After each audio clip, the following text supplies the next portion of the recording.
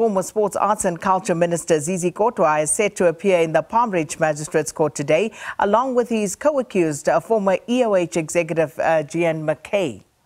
The pair are facing charges related to bribery allegations emanating from the Zondo Commission.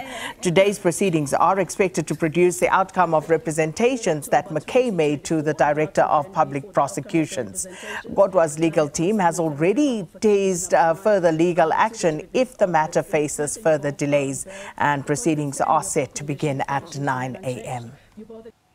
So for more on this court case, we cross live to SABC News reporter Canny Maphanga.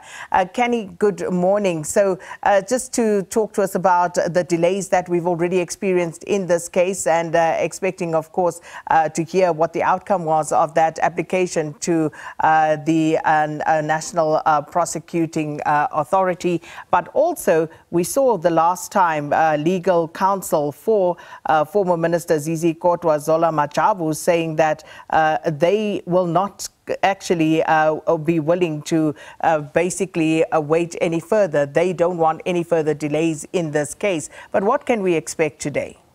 Well, good morning to you, Sakina, and to the viewers at home. Indeed, as you correctly stated, uh, the former EOH executive, Jehan Mackay, along with his co-accused, uh, former Sports, Arts and Culture Minister Zizi Kodwa, will be appearing at the Palm Ridge Magistrates Court this morning at around 9 a.m., where we expect to hear the outcome of the representations made by Mackay to the DPP. Usually when one or an accused or makes representations to the NPA, it means that they are seeking uh, a reconsideration of the institution of proceedings against them or prosecution against them. So we expect that that is the nature of the representations that Mackay has made to the DPP. As you may have known that there has been several delays pertaining to this issue um, of Mackay making representations previously in other court appearances. We've seen that he first started with the regional head who denied those uh, that request for representations and of course it was escalated to the DPP and it had to be postponed again. In the previous appearance, it was revealed that the DPP had not received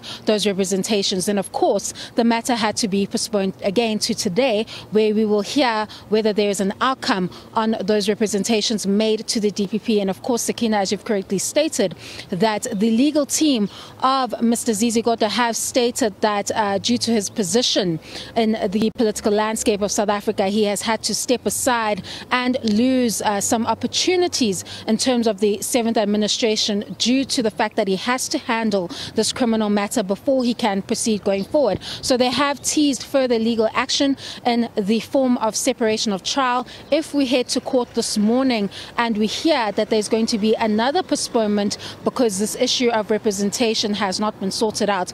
Of course, you know, when an accused has that right to make representations to the National Prosecuting Authority, where they are not successful at each stage, they're able to escalate we know that right now it is at the DPP, which is at the provincial level. Of course, it is possible that uh, if Mackay isn't successful today in those representations that he has made, that they may choose to escalate it further to the NDPP. But that is yet to be seen at 9 a.m. this morning when those proceedings start, Sakina, as to whether this case that deals with an important issue emanating from the Zondo Commission will be able to proceed going forward uh, following the various postponements that we've seen or if there'll be further delay in order for Mackay to make those representations. But of course, we'll be giving you those visuals at 9 a.m. when they appear in the dock. Over to you in studio.